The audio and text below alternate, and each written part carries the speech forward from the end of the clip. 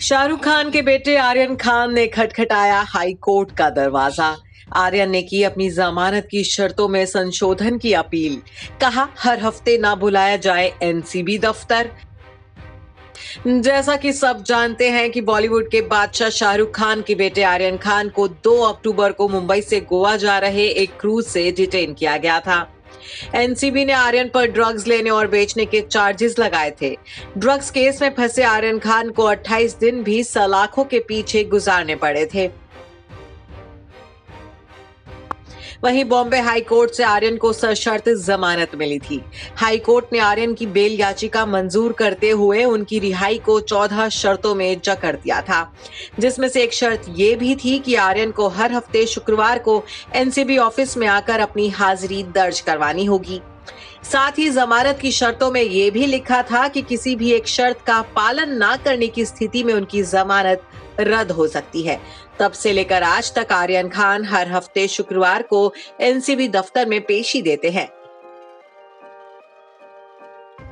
लेकिन अब आर्यन खान की तरफ़ से बॉम्बे हाई कोर्ट में एक याचिका दाखिल की गई है, जिसमें आर्यन खान ने अपनी जमानत की शर्तों में संशोधन करने की अपील की है और हर हफ़्ते एनसीबी दफ्तर में हाजिरी लगाने से छूट देने की मांग की है। अपनी याचिका में आर्यन खान की तरफ़ से कहा गया है कि चूँकि केस की जाँच अब दिल्ली एनसीबी के विशेष जाँच दल को सौंप दी गई है, इसलिए मुंबई कार्यालय में उनके पेश होने की शर्त में ढील दी जा सकती है। इतना ही नहीं, आवेदन में यह भी कहा गया है कि कैसे हर हफ़्ते एनसीबी दफ्तर आने के लिए उन्हें पुलिस कर्मियों का सहारा लेना पड़ता है।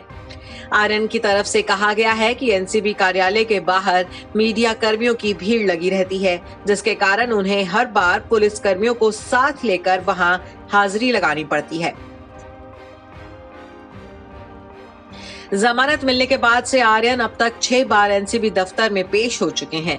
आवेदन में ड्रग्स केस के दूसरे आरोपी मनीष का ज़िक्र करते हुए आर्यन के वकीलों ने कहा है कि उन्हें एनसीबी के सामने हर हफ़्ते पेश नहीं होना होता है। ऐसे में आर्यन के साथ भी ऐसा ही होना चाहिए। रिपोर्ट्स के मुताबिक आर्यन की याचिका में यह भी लिखा गया है कि वो एक स्टूडेंट हैं और ऐसे परिवार से ताल्लुक रखते हैं, जिसकी समाज में अच्छी छवि है। ऐसे में वो भी एक सम्मानित और प्रतिष्ठित ज़िंदगी जीना चाहते हैं। आर्यन के वकीलों के मुताबिक अगले हफ़्ते इस याचिका पर सुनवाई भी हो सकती है। वहीं इसी बीच आर्यन खान की एक स्वेटशर्ट भी सुर्खियाँ बटोर रही है। दरअसल 10 दिसंबर को आर्यन ब्लैक कलर की एक स्वेटशर्ट पहने एनसीबी दफ्तर पहुँचे थे। एक फ़ैशन पोर्टल के मुताबिक मामूली सी दिखने वाली आर्यन की ये स्वेटशर्ट काफ़ी कीमती है। इस टी शर्ट के दाम करीब 500 डॉलर हैं, यानी भारतीय मुद्रा के हिसाब से इस स्वेटशर्ट की कीमत सैंतीस हज़ार आठ सौ साठ रुपए है।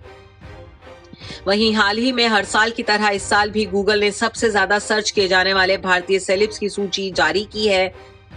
गूगल ने जो टॉप टेन सेलिब्रिटी की लिस्ट जारी की है, उसमें भी आर्यन खान छाए हैं। गूगल के मुताबिक 2021 में बॉलीवुड हस्तियों में से आर्यन खान को सबसे ज़्यादा सर्च किया गया। ड्रग्स मामले में फंसने के बाद आर्यन खान सबसे ज़्यादा सर्च हुए, वो इस लिस्ट में दूसरे नंबर पर है। हैरानी की बात तो ये रही कि गूगल की इस लिस्ट में शाहरुख खान का नाम भी नहीं है। Bureau report E twenty four